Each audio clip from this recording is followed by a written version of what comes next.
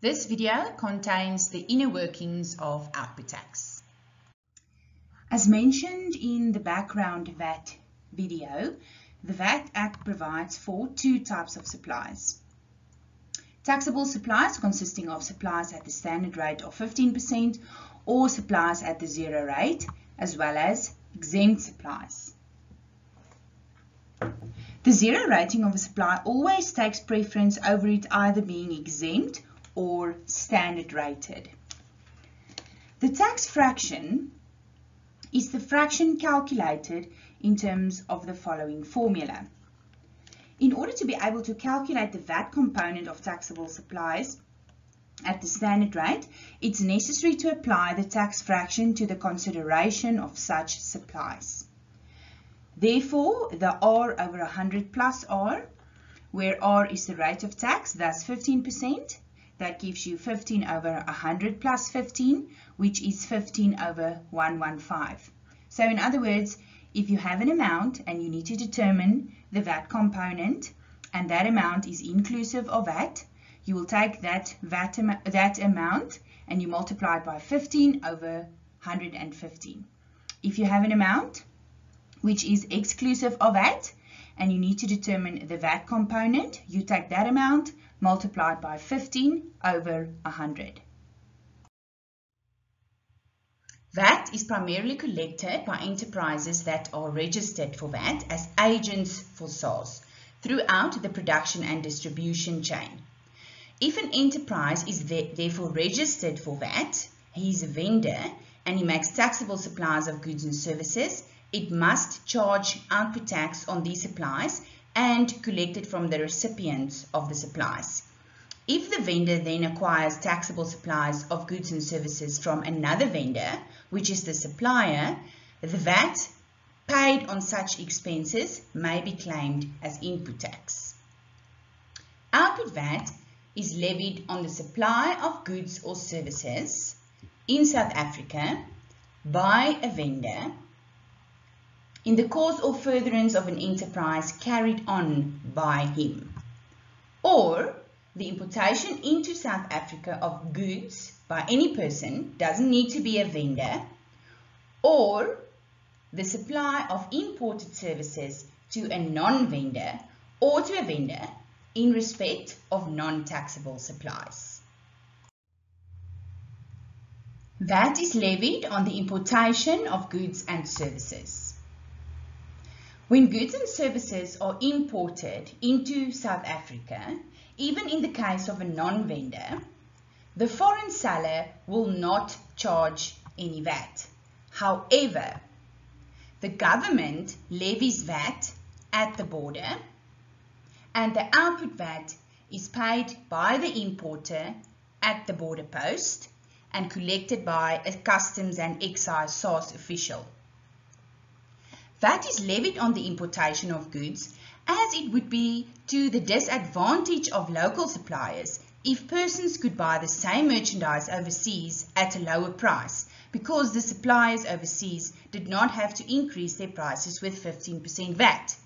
To level the playing fields to some extent, the VAT cost is borne by the importer of the goods. If goods that are imported are used to make taxable supplies, the VAT vendor can claim back the VAT that was levied on the importation as an input tax deduction. Supplies charged at the zero rate are often referred to as zero-rated supplies.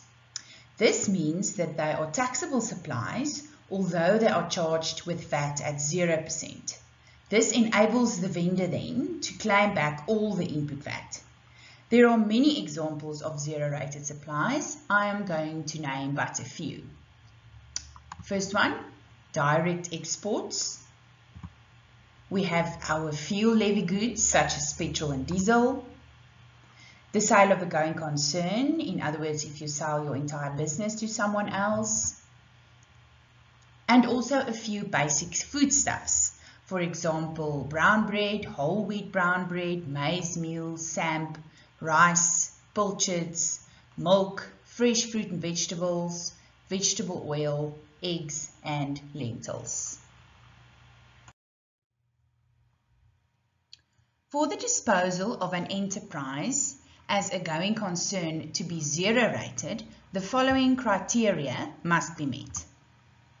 The parties must, at the time of conclusion of the contract, agree in writing that the enterprise will be an income earning activity on the date of its transfer. All the assets necessary for carrying on the enterprise must be disposed of by the supplier to the recipient. Just remember VAT it's not required that all the assets be disposed of, only those necessary for carrying on the enterprise. The parties must at the time of the contract agree in writing that the consideration for the supply is inclusive of that at the rate of 0%. Both of the parties, the supplier and the recipient, must be registered vendors for VAT purposes.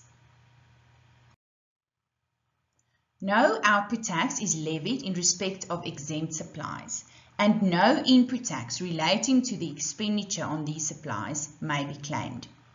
There are also quite a number of examples of exempt supplies, and I'm only going to name a few. First of all, we have the financial services that are exempt.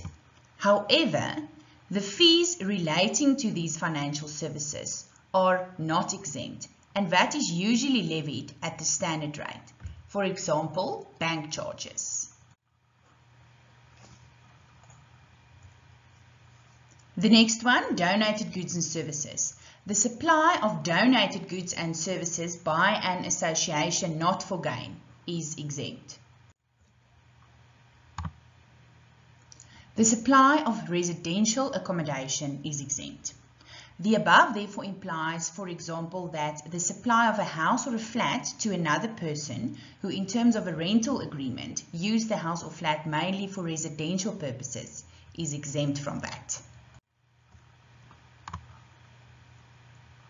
The supply of commercial accommodation is subject to VAT at the standard rate. Now, commercial accommodation is defined as lodging or board and lodging together with domestic goods and services in any house, flat, apartment, room, hotel, guest house, etc. Output tax must be levied on the full value of the supply where accommodation and domestic goods and services are supplied by a hotel or guest house for a period of 28 days or less. If it is supplied for 28 days and more, the consideration in money is deemed to be 60% of the all-inclusive charge. This 60% will apply from the day, from day 1 if the period exceeds 28 days. There are also a few other examples of exempt supplies, such as the transport of fare-paying passengers, which will be discussed in the next slide. And then lastly, education. The supply of qualifying educational services by the state, a school, a public higher education institution, university, technikon or college. Then also examples like trade unions, the supply of childcare services by a creche or an after-school care center. These are all exempt supplies. There are a few rules pertaining to transport services. Let's look at a few examples. Exempt transport services are the following. Travel by road or railway of fare-paying passengers within South Africa is an exempt supply. Taxable transport services are the following. Travel by air in South Africa is a standard rated supply as well as the transport of parcels by road, rail or sea. Zero rated services are as follows.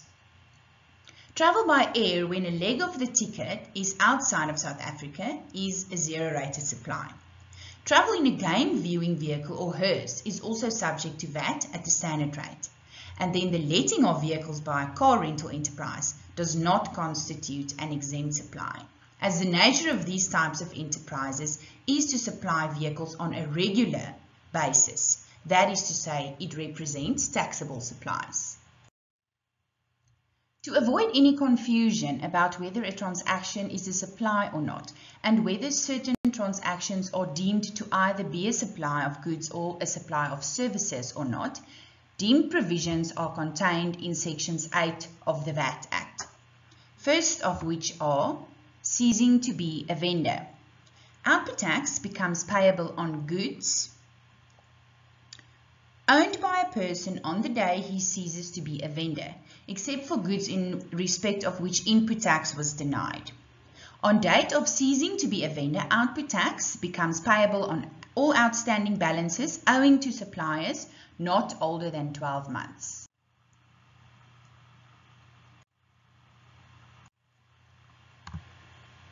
The next deemed supply will be your indemnity payments. The reason for this deemed supply rule is as follows. If, for example, a vendor's stock is stolen and he receives cash from his insurance company, he is effectively in the same position as he would have been had he sold the stock. SARS wants the VAT on that disposal. I'll discuss a little bit more detail on the indemnity payments in the following slide. The next one are your supplies to independent branches. When a vendor consigns or delivers goods to an address outside of South Africa or provides a service to a branch or main business that's permanently located at premises outside South Africa and is excluded from the definition of enterprise, such vendor is deemed to make a taxable supply of goods or services, as the case may be, in the course of his enterprise. And lastly, we have our fringe benefits the provision of certain fringe benefits to employees by a vendor is a deemed supply and is therefore subject to VAT. The following employment benefits are not subject to VAT. Cash allowances, for example, entertainment, subsistence and travel allowances, subsidies, long service awards, the supply of meals and refreshments, free or cheap holiday accommodation, residential housing, interest-free and low-interest loans, paying a debt on behalf of an employee, share incentives or plans, pension and medical aid fund contributions, payment of home telephone expenses, bursary schemes, international transport, the supply of a motor car at less than market value, and any fringe benefit to the extent that it's granted in the course of making exempt supplies. Deemed supplies, indemnity payments. Premiums for long-term insurance policies do not attract VAT as this is an exempt supply of a financial service. When a vendor receives a claim under a short-term insurance policy, the vendor is in certain circumstances obliged to account for output VAT on the claim received. This is the case where a vendor receives an indemnity payment or a claim under a contract of insurance which relates to all taxable supplies, both zero rated and standard rated, or is indemnified under a contract of insurance by the payment of an amount of money to another person and the input tax was claimed on acquisition. There is no deemed supply where payments relate to the total reinstatement of goods for which an input tax deduction was denied. In other words, no output VAT will be levied. Fringe benefits. The consideration in money for the supply of a fringe benefit other than motor vehicles is deemed to be the cash equivalent of the benefit as used for income tax purposes multiplied by the tax fraction. Now, the following fringe benefits are subject to VAT. First one, assets given to employees. This refers only to assets given free of charge or at a low rate. There is, however, no VAT applicable to assets supplied for entertainment purposes, zero rated or exempt supplies or motor vehicles. The next one is the right of use of an asset given to employee to an employee. This is, for example, the use of a company car provided to an employee.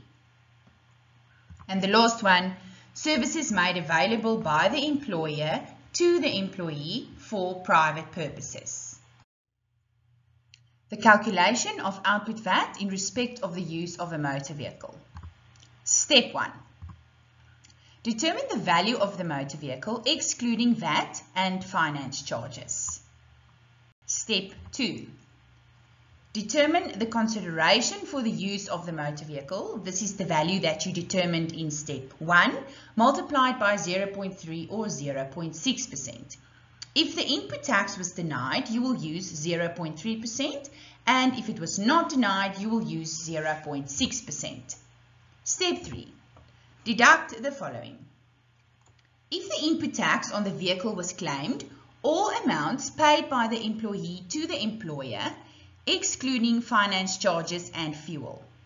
Or, if the input tax on the motor car was denied, all amounts paid by the employee to the employer, excluding finance charges, fuel, and the portion of the amount that relates to the fixed cost of the motor car. Then 85 Rand if the employee bears the full cost of repairs and maintenance. Step 4.